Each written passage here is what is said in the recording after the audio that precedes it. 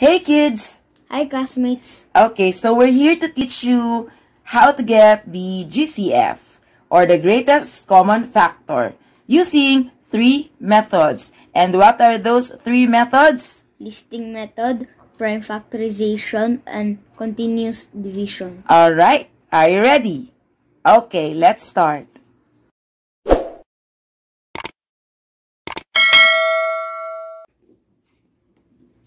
Okay, so we use the three methods to find the GCF of 27 and 45.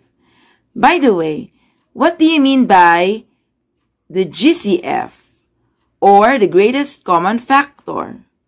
Well, the greatest common factor or the GCF of two or more numbers is the biggest or largest number that can divide the given numbers. So, you can think of factors as divisors para mas madali nyo siyang maalala. Okay? Okay, so let's start. Let's get the GCF of 27 and 45. The first method is the listing method. So, we try to list down all the factors or should I say all the divisors of 27 and all the divisors of 45. Okay, let's do it. So, I have here 27. So, what are the factors of 27? You may do like this. Start with 1, diba? It's 1 times 27, right? What else? You cannot have 2 as a factor of 27 or as a divisor of 27. Okay, what's next? Ah, 3. Can have 3. So it is 3 times 9. What else? Wala na. So these are all the factors of 27. So you may want to write here 27. The factors of 27 are 1, 3, 9, 27. Okay? What about 45? Okay? So, start again with 1. 45 is 1 times 45. Can you have 2 as a factor of 45 or as a divisor of 45? Nah. Okay? So, the next number is 3. 3 times what? 3 times 15. Right? What else? You cannot have 4. Diba? Cannot have, ah, 5.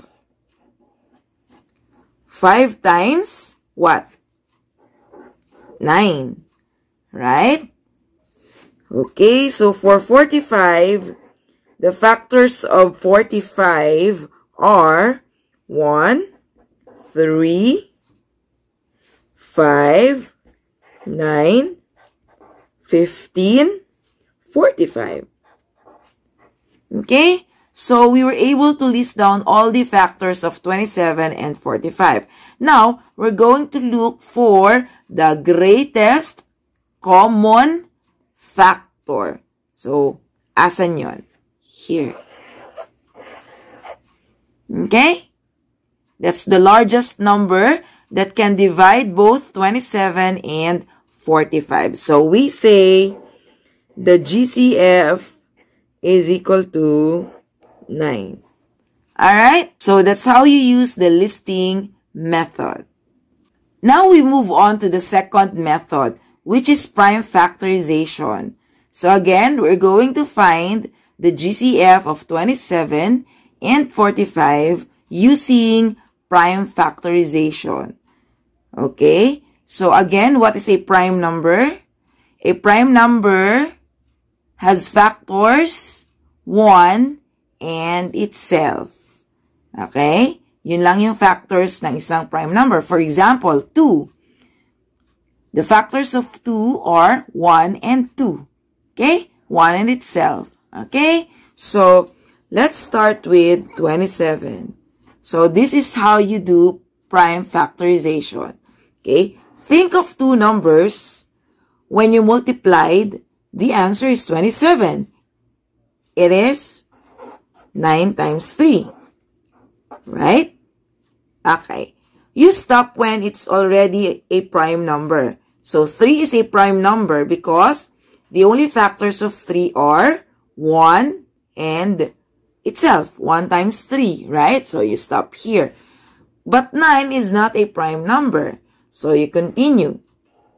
9 is 3 times 3. Right? Okay, so you stop here because they are all prime numbers. Right? Okay. The second number is 45. Okay, think of two numbers. Now, when you multiplied, the answer is 45. So, maisip nyo, ah, um, 5 times 9. So, you stop here because it's already a prime number. And 9 can still be written as 3 times 3. And then you stop because they are all prime numbers. Okay, so paano maghanap ng GCF using prime factorization? So, ganito. 27 is equal to you write all the prime factors of 27. So it's like 3 times 3 times 3. Okay? What about 45? It is 5 times 3 times 3. Ngayon, kapag may kapareho, ia-align ninyo. Like that. Times 3. Right? So, you align them. Okay? But you have 5 here. So, you make another column for 5. Okay? Huwag niyong i-align dito sa 3 na to. Kasi magkaiba sila. Alright? Okay. And then, here's how you find the GCF of 27 and 45. You bring down the complete column or complete columns. Okay? Asan yun? Yung kompleto. So, ito, kompleto. So, if i-bring down natin. Ito rin. Right? So, bring it down. So, you have 3 times 3. So, the answer is 9. This is the GCF. Okay? Using prime factorization. I hope it's clear. So, this is the last method, the continuous division. So, let's find the GCF of 27 and 45 using continuous division. Okay, let's do it. So let me write 27 here and 45. Like that.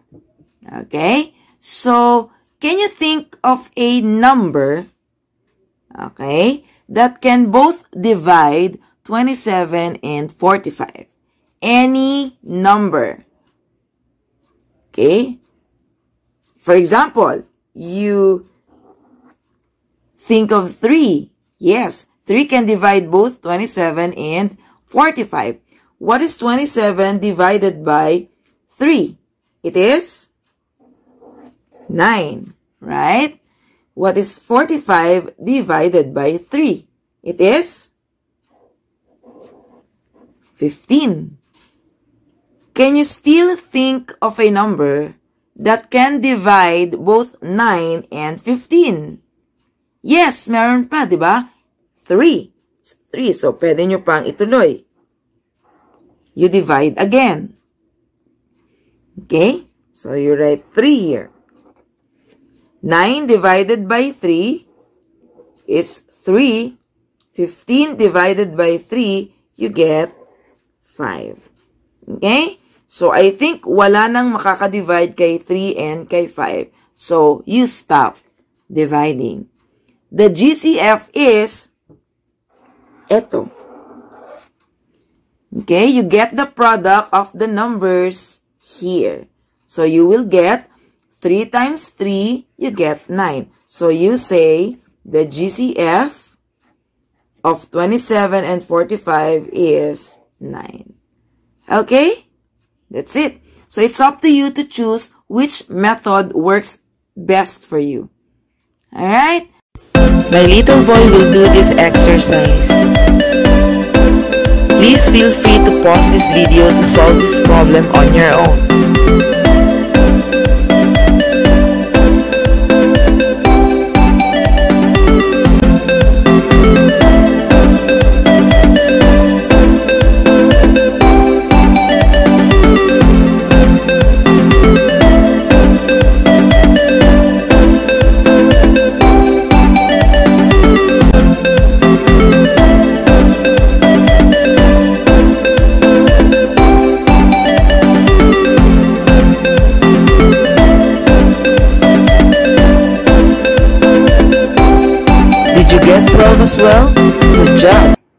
Thank you guys for watching. See you in our next video.